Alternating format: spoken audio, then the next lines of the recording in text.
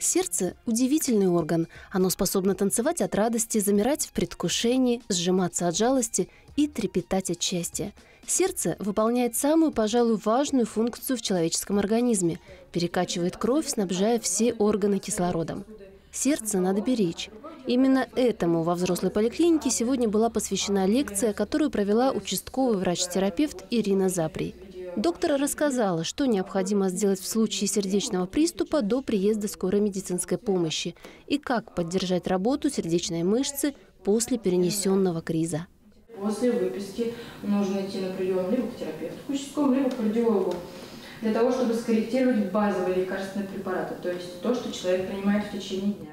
Наш чудесный сердечный мотор готов бесперебойно работать долгие годы, если проявить о нем минимальную заботу – в настоящее время существует множество препаратов, поддерживающих сердечную деятельность. Но главное – вовремя обратить внимание на возникшую проблему. Поможет в этом электрокардиологическое исследование. Пройти его несложно, быстро, и результат определяется опытным врачом всего за несколько секунд. Что нам показывает данный вид обследования? Во-первых, надо понять, есть ли у человека на первичном этапе аритмии или нет. Это в первую очередь нам необходимо. Плюс, когда мы подозреваем какие-то острые ситуации, но ну, в первую очередь э, это инфаркт миокарда, мы опять же снимаем ЭКГ. Как сказала Ирина Сергеевна, как и все болезни, болезни сердца молодеют. Поэтому проходить ЭКГ желательно хотя бы раз в год даже молодым. Анне Степановне 90 лет. Сердце, говорит, уже давно беспокоит. Но уступать болезням бабушка не намерена. В велосипеде катается в тренажере у меня, да. В 4.30 мы встаем, делает там упражнения физические, а как же? Ну, следить за собой надо.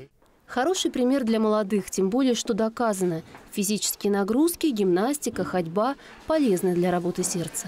Занимайтесь физкультурой, и тогда поход в поликлинику будет исключительно в профилактических целях. Кстати, теперь диспансеризацию можно будет пройти каждую субботу с 8 до 14 часов. Татьяна Брылова, Евгений Петров, Елена Кошелева. Видное ТВ.